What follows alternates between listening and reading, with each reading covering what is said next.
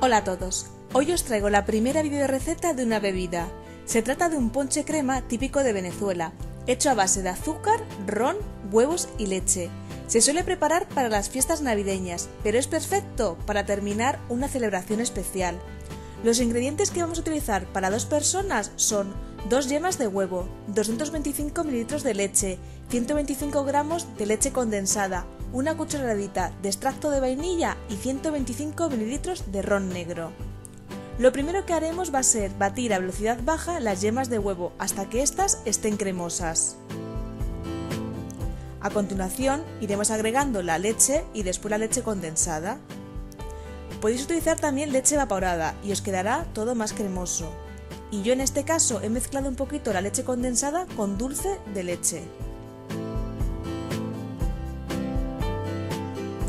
Para aromatizarla he usado un solecito de azúcar vainillada, pero también podéis utilizar canela, nuez moscada o ralladura de limón.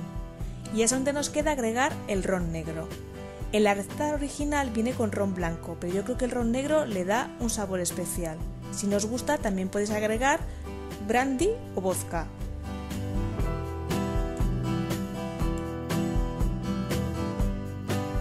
Una vez todo mezclado no notaba mucho el aroma de la vainilla, así que incluí una cucharadita de extracto de vainilla.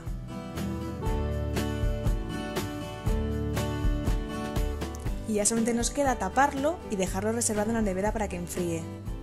Si hacéis más cantidad, podéis guardarlo en una botella limpia y os aguantará en la nevera aproximadamente unos dos meses.